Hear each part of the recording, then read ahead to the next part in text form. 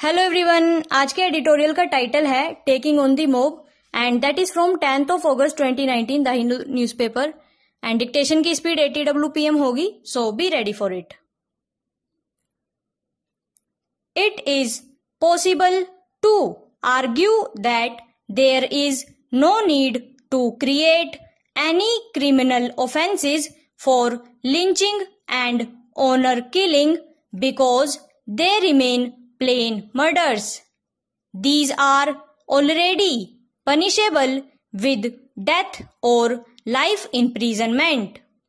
Yet mob lynching and murderous attacks on young couples in the name of preserving family or community honor have emerged as preponderant social evils. It is but inevitable that societies come up with new ways of combating such hate crimes.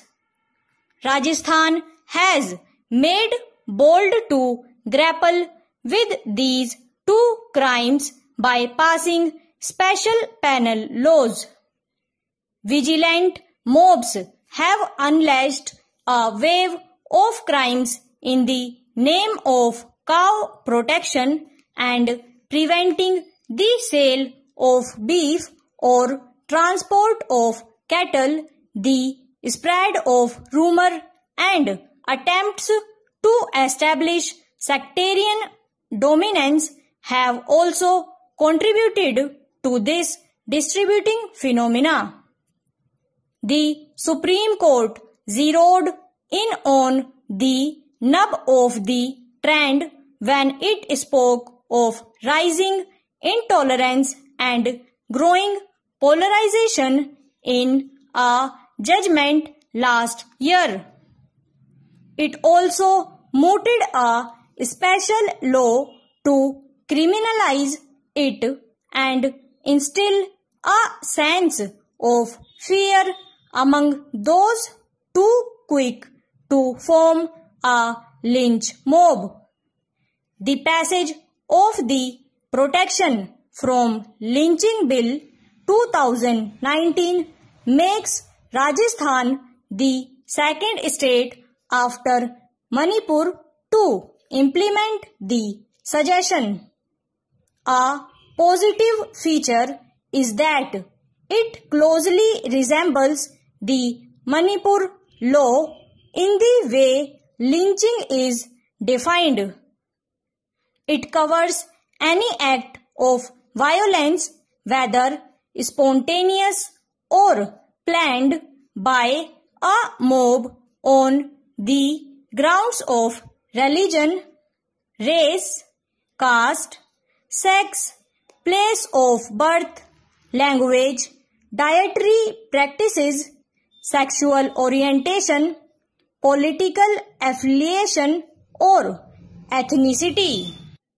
And two persons are enough to continue a mob. According to the state's parliamentary affairs minister, 86% of mob lynching incidents reported in India after 2014 were in Rajasthan. The bill says that when a mob attack ends in death, it is punishable with life imprisonment and a fine up to rupees 5 lakh. There are lesser terms for causing injuries. As directed by the Supreme Court, the bill provides for appointment of a nodal officer to prevent lynching and for district police chiefs to act as coordinators. It ensures compensation to victims and rehabilitation measures for those displaced. The opposition BJP on expected lines contended that the bill was being brought in a hurry to please a community. However, it is a fact that Muslims have been prime targets of lynch mobs. The party's fulmination against the other bill that prohibits interference in the freedom of matrimonial alliances in the name of honor and tradition was equally bereft of substance as it cited societal norms and cultural practice to oppose the progressive law. In fact, it was batting for Khap panchayats that seek to interdict intercaste marriages.